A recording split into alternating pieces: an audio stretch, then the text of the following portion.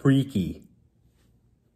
I wonder if the fact that there was gonna be a Friday the 13th, a day, not a movie, in 2020 helped Universal with its decision to greenlight this film, or if it at least helped with the decision to incorporate the day into the movie if Universal thought that by releasing the movie on the day, they were guaranteed a huge audience, though.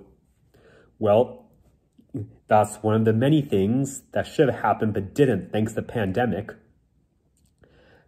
I mean, hardly any theaters are open at the moment.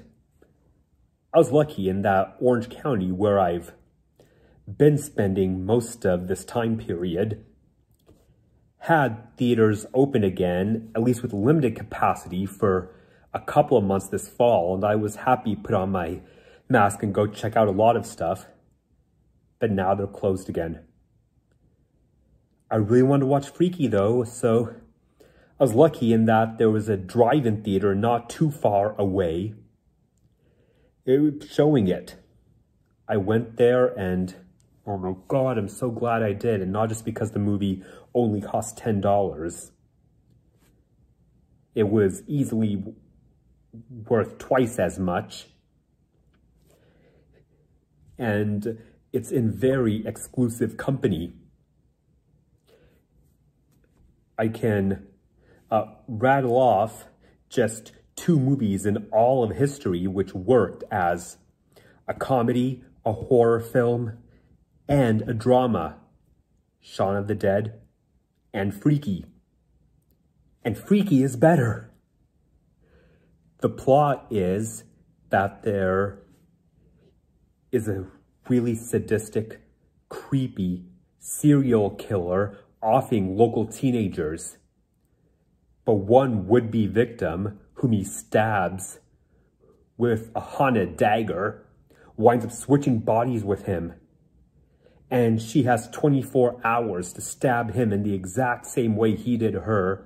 Otherwise, she's stuck in his body forever. Wow the thrills, the character development, the gore, the scares, the tension. It all comes together for a fantastic film. I mean, Blumhouse, I often go to watch their films. Uh, they're nice. A cheap thrills for this guy who loves horror more than anything, but, excuse me, this one deserves to be a classic what's even better than all stuff I just listed is Kathryn Newton. She's been in a lot of TV shows and movies. I hope this takes her career to the next level. But even better than her is the other lead, Vince Vaughn. I'm not joking when I say he gives one of the best performances I've ever seen. He's playing a sociopathic, horrifying murderer and a sweet but meek teenage girl who is gaining confidence despite trauma. It's hard to imagine two more different characters, and he nails them both. I don't think there's any chance of him getting an Academy Award nomination like he deserves for this, though. Not just because the Academy is so reluctant to honor comedies or horror movies, let alone horror comedies but because hardly anyone has seen this film, I'm guessing those of you watching also have movie theaters near you closed, and you might not even be lucky enough to have access to a drive-in to watch Freaky. But if not, then pay to stream it.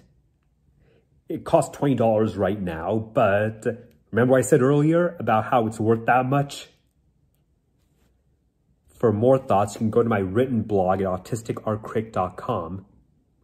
Also, follow us on Facebook and don't forget to hit the subscribe button below. Thank you.